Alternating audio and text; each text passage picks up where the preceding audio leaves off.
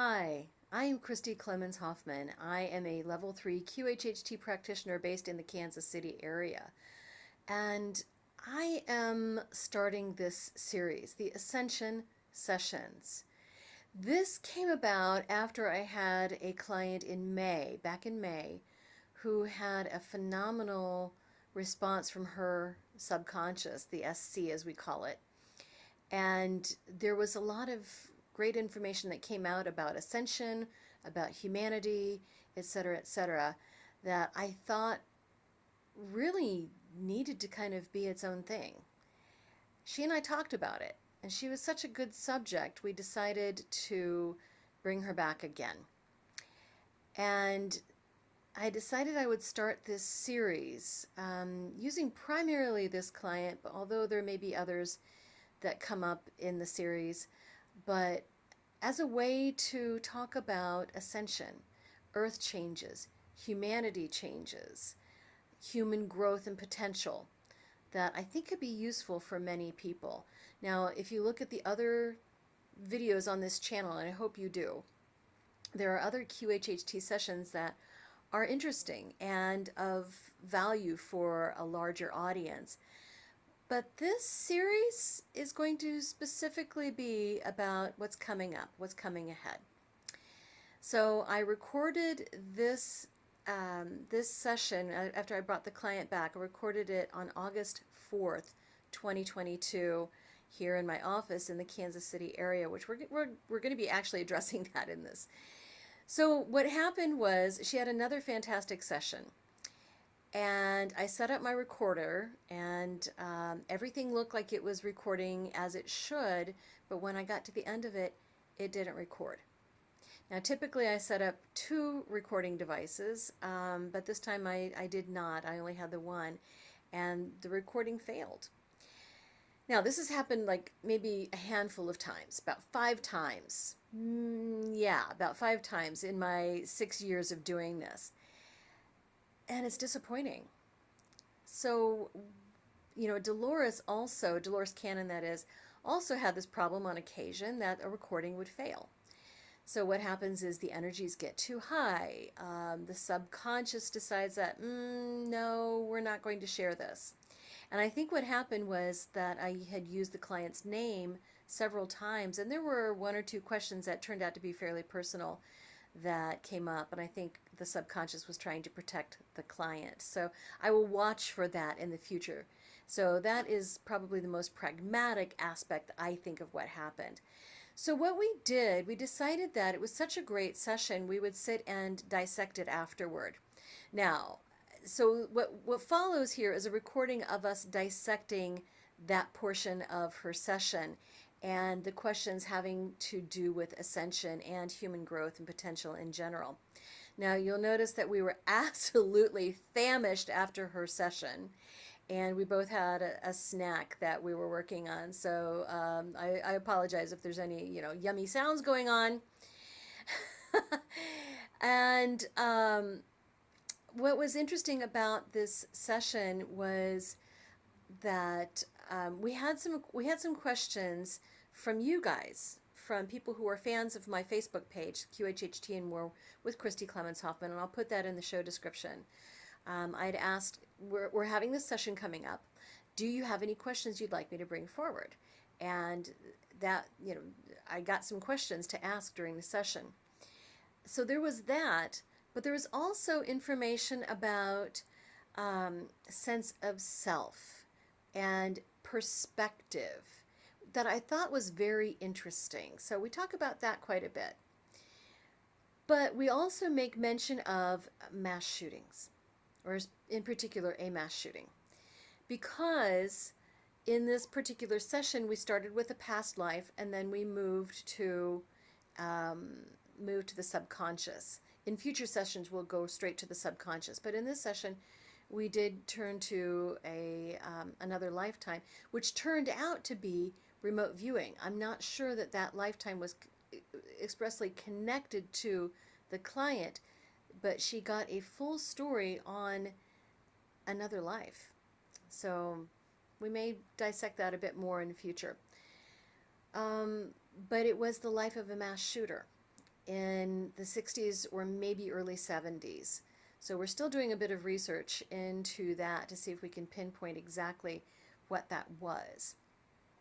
And which would have that would have overlapped or more or less concurrent lifetime with that client. So we're still parsing that part portion of it. And so we'll be talking about um, the ideology of this mass shooter in this video. So there's quite a lot to dissect. I would love to hear from you. So please blow the comments up.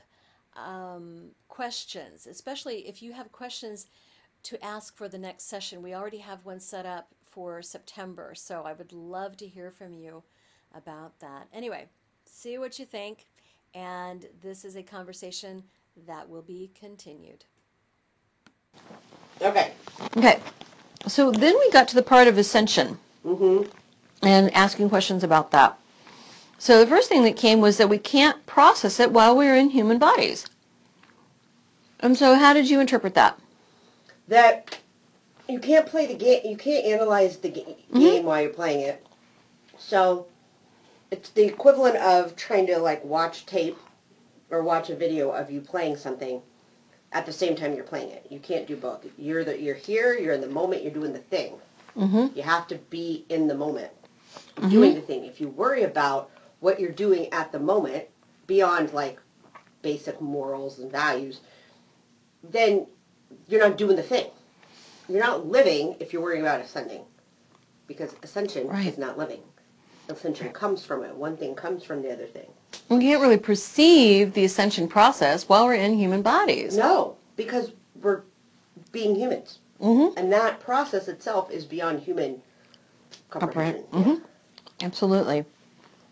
So ascension is more or less a mindset is what came out of this.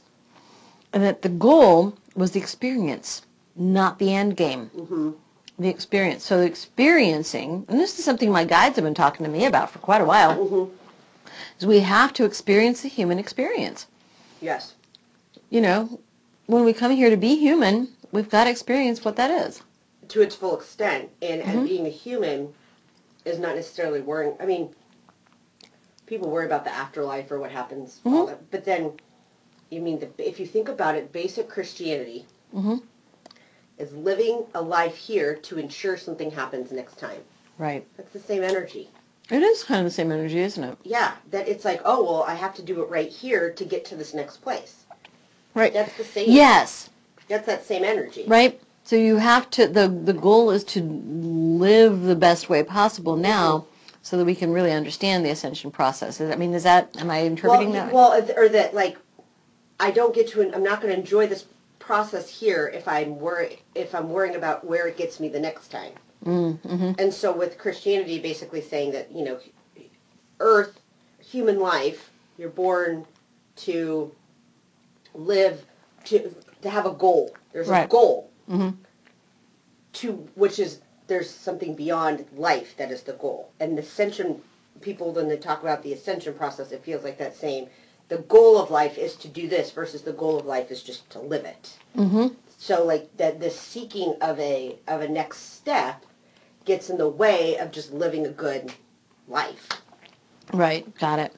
or being present. Right. So to experience Earth, you have to fully Im- immerse in the experience. Sit in the hardness hmm of it is another thing you said. Sit in the hardness of how it is to be here on Earth. So then you had the analogy of digging a hole in the ground. You remember that? Mm-hmm. Mm-hmm. And planting your feet. So like if you're gonna be on earth, be on earth. Get in there. Put stick your feet in there and be there. mm-hmm. Floating above Right. is not that's that's not what being on earth is. Mm-hmm. That's just not it. Right. So digging a hole in the ground, and then plant your feet there. Got to keep your feet there. Um, we react as humans, as uh, human, as humanly as we can. Mm-hmm. React to things as humanly as we can. And if we're not reacting as humans, then we're not being on earth. Because to be on Right. earth is to be human. Mhm. Like they go together. Right. That um, the human response is to help. And this is then I asked things about like what do we do about like all the mass shootings and all the unrest and the riots and things like that. Human the human response is to help. Each person can help improve situations.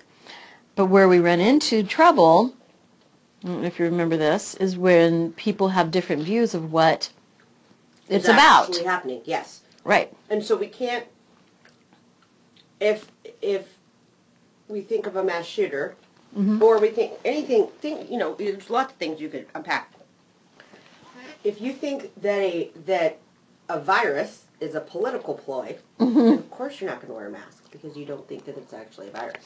Right. So the way that we look at the situation and our reality is powerful enough, our filter is powerful enough. Mhm. If we're not all looking at the same problem the same way, and that doesn't mean we agree on everything, but if we're not all looking at it at this is what it is, Mhm. then we're all then we're not going to be able to together come up with a solution because there's there's weightedness to it Right. there's a weight to it. And so, like a mass shooting, there's people that are like, this means we need more gun control. There are Right. people that said this means we, we need more mental health. Some people say we need less video games. We're all looking at things from a different reality Right. versus focusing on the fact that there was a human who did like that. When you focus on the little pieces of it, that's all you're going to see in that, and so you're not going to be able to work with others to come up with a solution beyond what you believe to be the solution based on your view of the situation. Right. Right. Because you you see what happened in very different ways. Yes, it's colored. Everything's colored by our personal experience. Oh, that's interesting. Because I mean, what's what's interesting is that you know the past life that you went to, or the, the what you were able to view, was like literally everything was colored yellow hmm as like a bad movie flashback. So that's interesting too because have you ever seen the movie Inside Out? Oh yeah, I love that movie. So I use that as an example when I teach teachers, Mhm. right? That like every experience is colored Mhm. by an emotion. Mhm. So, and then part of my dissertation is understanding like identity, and so our identities create our filters to Right. experiences, and how we experiencing things is based on our identity and our beliefs and our past experiences. So, because nobody has had the same exact experience, nobody experiences the current situation the exact same. So that's why sometimes when we talk about things like reality, we can, you and I can agree on a few things, Mhm. and that's what's important. What can we agree on, not Right. necessarily what we are not agreeing on. Mhm. And so, what Right. are the main things? So, if you talk about Right. these issues, what are the things that we all can agree upon? Let's start as simple as is the sky blue? Mm-hmm. right? And let's go build, build, build from there. What do we agree on? Mhm. Which was, I think, was interesting because part of what came out of this session too was um, how to help kids who, well, what came out was um, teach people in how in power how to find people seeking power. Yes. So, of course, you, you know, you had a, a, a view of a mass shooter Mm-hmm. and how schools and parents can help identify the kids Mhm. who are seeking to have power and control in their lives. Yes.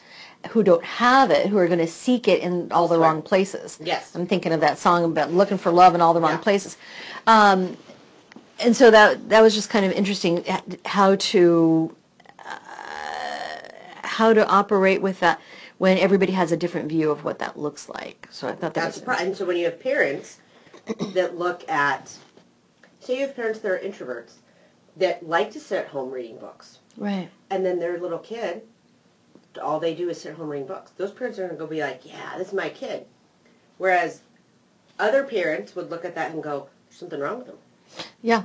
And so until we can all agree on some basic, like, what should we be looking for in terms of people who do harm, um, and then, it, but it's hard because then parents will still always look at their child differently than other people do Right. Absolutely. Through their own filter. through their own. filter. So we've got all of these filters. Yes. So anyway, I thought that was very interesting. So um, back to like what can we do improve to improve our situations? Each person can help improve the situations. So in each reality, we respond to their reality. What can I do in this moment to help given my reality? Yeah. Right? So I thought that was a very important thing to bring about when talking about ascension. Mm-hmm. It's like it's probably going to look different to different people because of how they view it, Exactly. right? And so to make it a, a blanket, Right. these are ascension symptoms, doesn't make sense because everybody's reality is different. Everybody's reality is different. Now, I actually wrote an article a couple years ago about ascension symptoms, mm-hmm. but they are very varied, and it everybody's depends, yeah. and it depends on each person. Yeah. Right. Absolutely. So, okay. So, what can I do in this moment to help? How can it? But then, there. Then it came up that there needs to be a unifying event. That kind of, if I'm being honest, Mm-hmm. kind of chilled me. I'm Right? sorry. I know. No. But Did it chill you too? That's how people change. Right. Look at 9/11. Exactly. Look at Pearl Harbor. Exactly. Well, and there's even a book, another Pearl Harbor or second Pearl Well, Harbor, something like and that. that's what you don't want to go get towards. And I feel like, and I feel like, COVID Right? was an opportunity for people to come together and take care of each other, Right. and it didn't happen because the reality, people's realities were were were changed by other things. Yeah. And we had an opportunity to love thy neighbor. We had an opportunity to Take care of each other. take care of each other, and we didn't do it. In fact, people blatantly went out of their way to say, I don't care what happens to you. And until something like that changes, stuff's going to keep happening. And Yeah. I hate that. Like, I hate to be like, a, I don't feel like I'm me saying like doomsday predictor, but it that's what that's what is a catalyst for change. But even the vote yesterday, Yeah, right. huge deal, Of course, we were recording this August 4th, 2022. 2022, and the vote was actually Tuesday, Yes. August 2nd, So- in Kansas to um, to Protect. prevent, yeah, to protect the right to choice. Yes, for- right. for okay, for kids. Kansas. Yes. And the fact that like everybody predicted due to the nature of whatever, you know, Right. what Kansas is usually considered. But overturning Roe is horrific. Horrific. Horrific. Yes. But it did this. Like and like those horrific like we don't want to get to horrific things though. We want to be able as humans to come together to to make positive change for everybody without penultimate, penultimate event. I think that's the right word. Events right. that force us. We shouldn't. I don't want to be forced right to do it. I want. I would love us all to be in a space where we could all help each other collectively, without the pandemic, or without a, a Supreme Court decision that takes away rights, or without a huge hurricane. Like it'd be Right. nice if we just did that. And I, and there's just a lot of woundedness in people that prevents them from seeing that reality. Right. I think that, I think there is, and it goes back to identifying the kids who are feeling isolated, who mm-hmm. are feeling not included, mm-hmm. and then working to bridge that gap, mm-hmm. Right? So that we are all unified, so we don't have to go seeking separate realities and seeking a reality that obviously is not what I'm looking at, but hey, these people accept me and they believe me, so, they believe something different. That's that's what it is. It's acceptance. Right.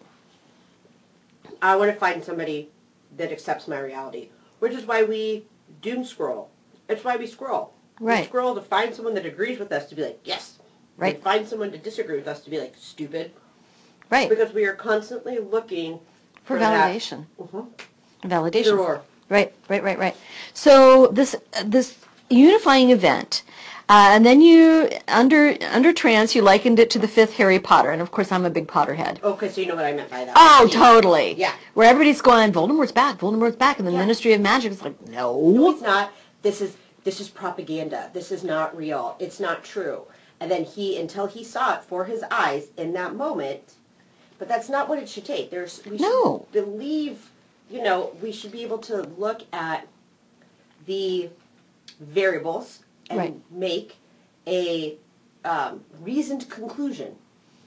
But the problem is, is when people don't have reasonable variables, then they're seeking and looking for like Right. not everything is perfect science, but at some point we have to learn about how to, oh, what's the right word? So, like, qualitative data is all about the credibility of the source, right? So, Right. quantitative data is about reliability, validity. We're looking at numbers. We're looking at sample size, right? Um, qualitative data is about your the the credibility of the person doing the interviewing, the person being interviewed, Mhm. and the the tools utilized. So we have to sometimes look at the credibility of the person saying the thing, and then weigh whether or not that is worthy of it, worthy of information. And Right. but that is a you know, Well, and, and I kept finding myself asking things like, okay, so the ascension, is it like, is it the soul that ascends? Is it the body that ascends?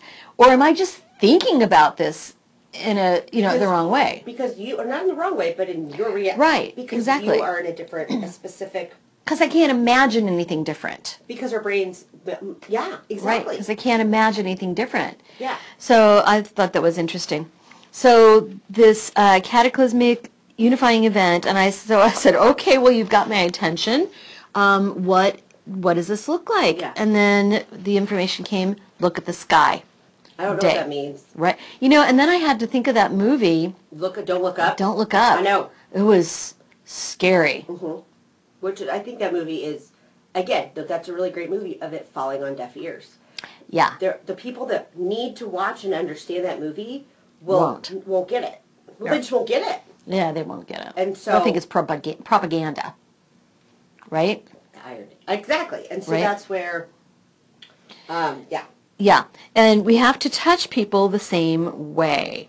So in that 95% of people have to agree about an event without without their filters. Um, and then the, again, I was asking about the cataclysmic event, and then you said well, you're you're thinking about it like a human. I said, uh, you know, am I thinking about this wrong? You're thinking about it like a human. Again, we think of things in human terms because that is our human focus, which is where we need to be right now. Exactly. And that's why sometimes my frustration, dragonfly, there's like a whole Disney princess vibe you have out here.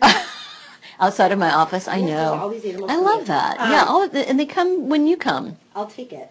Um, is we as like to to you know are, is things like astral travel and you know meditating and going into galaxies and all, Right. is all that stuff cool? Sure, but that's not living on Earth.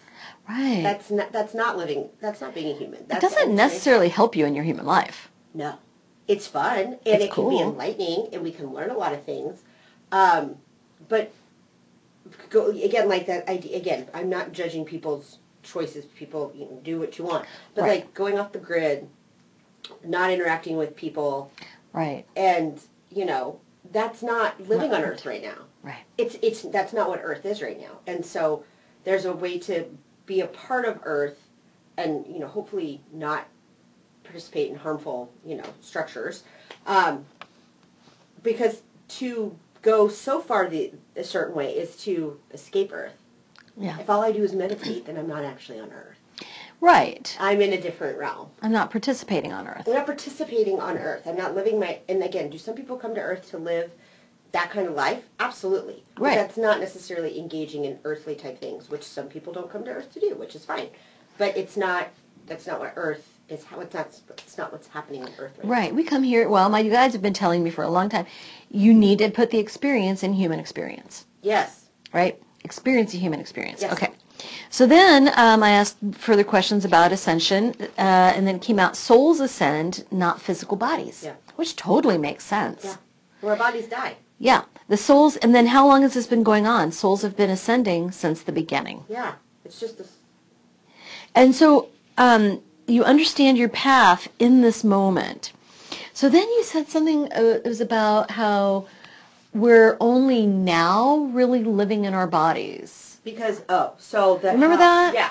Um, so what human bodies had to be put through um, in past times was horrific. Right. Building the pyramids, building the Great Wall of China, building the cities that we have. Working in sweat factories, working in coal mines. What women had to put through with childbirth. Oh my God. So, I, I mean, human, but I don't think it would seem that to to be uh uh aware of the body like maybe people are today wasn't possible because they would have lived in tremendous aware of the tremendous pain hmm and the and the suffering that was happening at the hands of people. Right. And so I bel I believe, or whatever, whatever that this, whatever came through me, this um, idea that like this is we've we've had to survive as humans, Right. And we've never been allowed to thrive. There's always been a small group of people who's had the ability to thrive in a sense that they've had enough money and whatnot, but they were still at Resources. They were still at the bane of human of like nature that we're not at the moment. Infections, injuries, Air sepsis. Like Right. they didn't have modern science that we did. So the bo- so to get to here, there was a tremendous amount of of, of bodies being used Right. to move society forward. Right. That it's we don't need bodies to do the, those same things anymore. We have machines.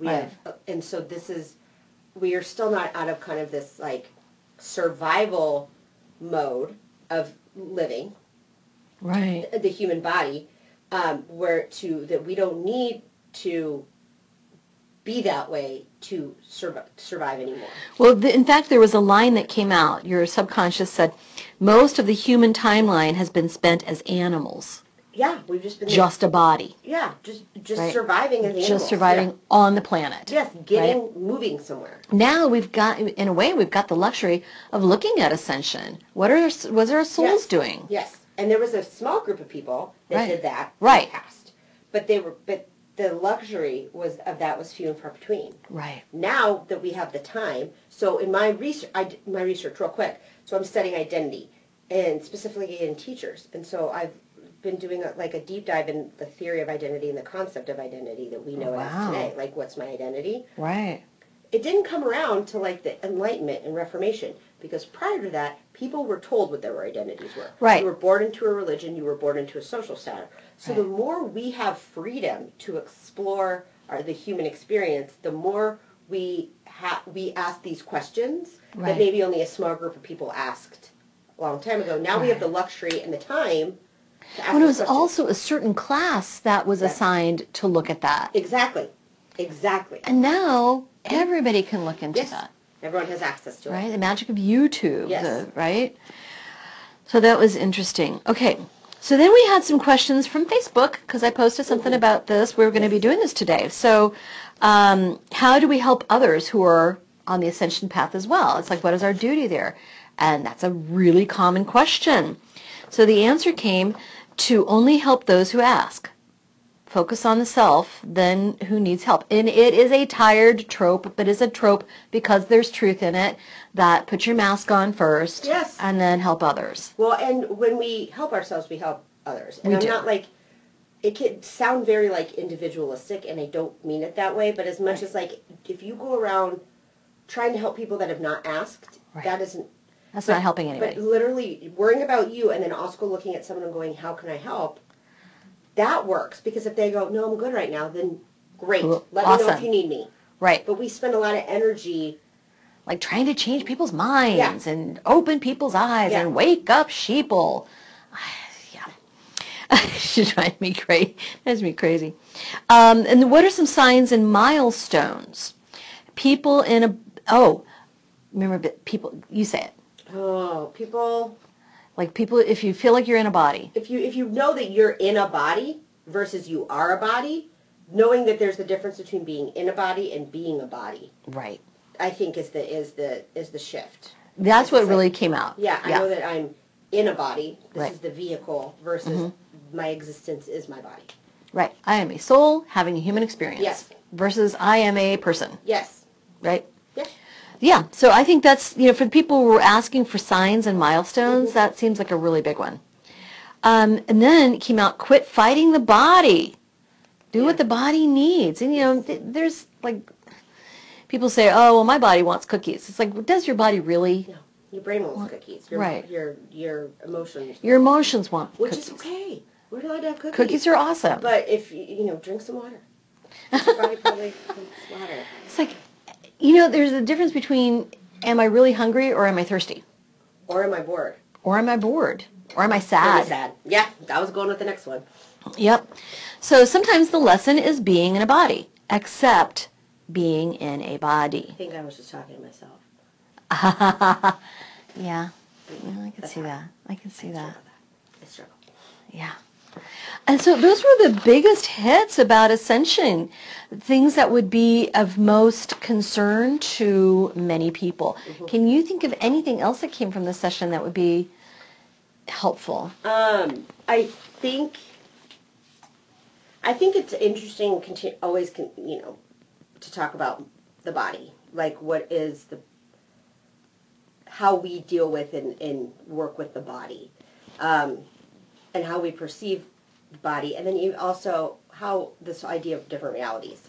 Like Yeah. when we were, I remember in middle school, there would be a teacher that would come in and like be like, "Oh my God," and like yell something really loud and then leave. And then they'd come back in and be like, "No, what did you remember what I said?" And we would all have like a different answer Right. because we are all we are hearing things differently based on our Right. past experiences. Like I almost feel like we build a, this beautiful filter on positive and negative that we when we look at things it goes through it and so if things if there's a if there's a word if there's a word we don't like we will change that that message coming at us Right. um, and it's important to recognize our filter and what that is, our bias, whatever you want to call it, because when we don't think we have one, is usually when it's being bombarded. Oh, interesting. So, like people that are like, I don't have a filter. I see things for what they are. Like, you know, we all have a filter. The more that we, you know, really truly embrace what that filter is, what are the main pieces of our identity that's coloring our experience of reality, is when we are able to kind of be thoughtful about what we're doing. If we if we think everything we think is correct, and it's not being Challenged. cha- and it's not being colored by what we've mm. experienced, then we're that that's not real. That's not how it works. That's just that's not how our bodies and brains are built. We are built to pay attention to our surroundings and then shift accordingly. It's the same thing. Right. So it's putting the ex- the experience in the human experience. Yes. Right? Just fully being human, responding as a human would, like survival, Yes. wanting to be included. I mean, these these things we respond now. We hope we we're going to do these things with kindness. Uh huh. And to not harm others. But yeah, the human experience. Like, what is it? You know, if you want to call a guy, call a guy. That's part of being a human. If you want to call it what? Call the guy. Like Call I need to call the guy. if, what it, the most human experience is, you know, wanting love, being loved, Right. some of that stuff. So, so, so what if it hurts? That's part of being a human. Right. And well, and that came through for you big time too. hmm You know, in your And I know personal that life. Some, and I want to don't want to dismiss things. Sometimes things hurt more, and that we They shouldn't go die, like chasing waterfalls necessarily. But part of being a human is is experiencing the the hard stuff. Heartbreak. hmm right? See if there's anything here. Um, sometimes just it's just the earth. When when things get difficult, it's just the earth. Just experience it, Mhm. right? Um, yeah. All right. So that was we'll we'll do this again, and hopefully the recording. Well, I usually use two recording devices, and did I this time? No, I did not. My other recording device was on my table, but I didn't turn it on. So um, yeah, the recording device ate the recording. So we'll do this again, though. You got it. Awesome. Anytime.